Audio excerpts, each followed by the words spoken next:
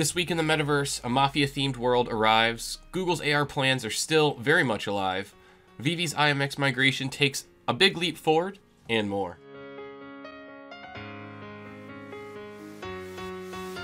What is up, guys? Welcome back to the Bowl Combo, and welcome back to this week's weekly metaverse update. Google is no stranger to the AR space, and while well ahead of its time, Google Glass was the first true glimpse of the future of augmented reality. So it's no surprise Google is back to working on new augmented reality technology. This time in the form of an augmented reality operating system, as well as innovative new augmented reality devices. Not much is known about the operating system or device beyond job openings and recent LinkedIn updates. However, it's clear Google is up to something in the AR field. With the rise of AR now on the horizon, it makes sense for Google to look at a successor to Google Glass, as well as an augmented reality operating system that can function on a variety of devices. It's important to remember that Google's current operating system, Android, functions on a variety of devices, both owned and unowned by Google themselves. We're going to keep an eye on this, and we'll be sure to cover any new developments on the progress of Google's augmented reality technology. We're down to the final three days of the Sandbox Alpha. I'd like to extend a major congrats to anyone that's won an Alpha Pass and that's taken the time to completed all of the Alpha quests. You'll be awarded with three unique NFTs as well as 1,000 sand token for your efforts. A pretty hefty prize just for a few hours worth of work in the metaverse. Wave 2 of the Snoop Dogg land sale also went down this week with Steve Aoki joining the party. As is normally the case, the land sold out very quickly. The estate auctions wrapped up this morning with all of them, even the 3x3s, going for at least 20,000 sand token, or around 80,000 US dollars. On top of the alpha wrap up and the latest land sale, there are also several drops currently live on the marketplace. Some of the items are very affordable, even with sand at close to $4, so if you're looking to snatch some additional NFTs for your land experience, now might be the time to do it. Ember Sword shows new promise with a new investment and consulting round. A new investment deal between the studio and BITKRAFT Ventures adds 20 gaming executives and influencers on board to support the MMO development and leveraging of blockchain technology. Some of those on board with the new deal include Rob Pardo, the former chief creative officer at Blizzard Entertainment and the lead designer of World of Warcraft, Dennis Thresh Fong, pro gamer and founder of Xfire, Lithium, and GGWP, as well as YouTuber Dr. Disrespect, and Kevin Lin, the co founder of Twitch.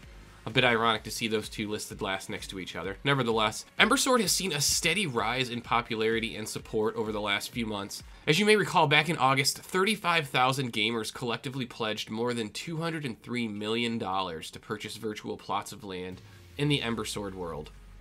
We've covered Ember Sword before. I'm really excited to play Ember Sword and get a chance to take advantage of it when it becomes available to the public. In the meantime, we're going to keep an eye on the progress of the platform and the game itself, and as new developments become available, we'll make sure to cover them here. It's been an active few weeks for the Earth 2 platform and its community.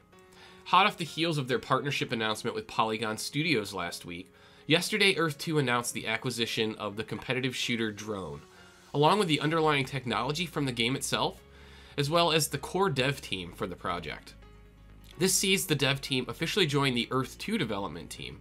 The onboarded technology includes the competitive shooter experience drone itself, the arena editor, drone builder, and all of the additional tools within the game.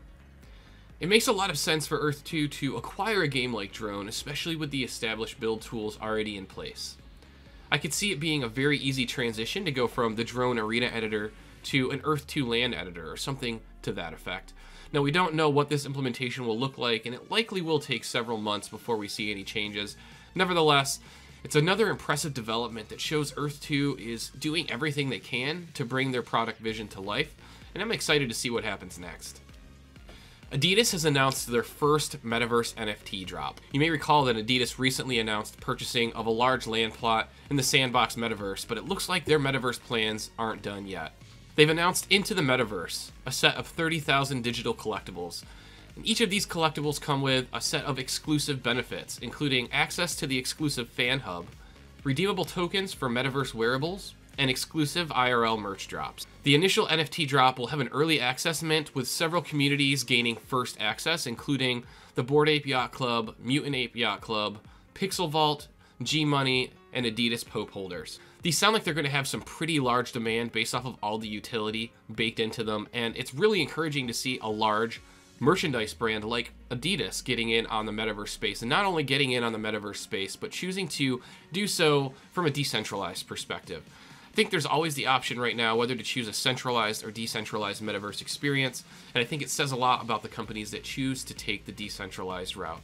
We'll keep an eye on how this project progresses, some of their new drops, and I imagine we'll be covering them again here in the near future. It was a very eventful week for the VeVe platform.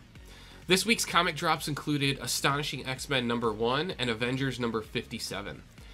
They followed that up by the announcement of a very Deadpool Christmas drop and the No Time to Die Series 1 Valdo's Case drop. But by far the biggest news of the week was the update on the Immutable X migration. The migration took a major step forward this week with all VeVe collectibles being officially reminted on Immutable X. This sees the collectibles transition from residing on GoChain to residing on the ETH network. A powerful transition that could bode well for the value of the collectibles long term. However, the excitement was short lived, as shortly after this exciting news, it appears the VeVe Discord was compromised and several scam links were posted. This resulted in the Discord channels being temporarily taken offline. It appears things have since been resolved, though it's unknown at this time whether the fraudulent posts negatively affected anyone directly or within the community. Alright guys, and before we get to this last update of the day, if you guys like this content, consider hitting the like button on this video. Also consider subscribing to this channel and hitting that bell to get notified if you enjoy the content I post here on a weekly basis. I want to make sure I get this content in front of the people that care about it. So again, if you enjoy this content, consider hitting that subscribe button and hitting that bell to get notified when I post new videos each week. Sin City is a new R-rated Mafia-themed metaverse world comprised of 17 districts, each with its own unique properties and resources that can be used to craft unique in-game items such as guns, supercars, or trendy clothing in the form of NFTs. Sin City will be comprised of 15,000 plots, each measuring 10 meters by 10 meters. Land can be acquired via the initial land sale on December 27th. After purchasing the land, as a landowner you can move to create your faction or join forces with other landowners to establish an affiliated one. A faction is a gang that you or other gamers own.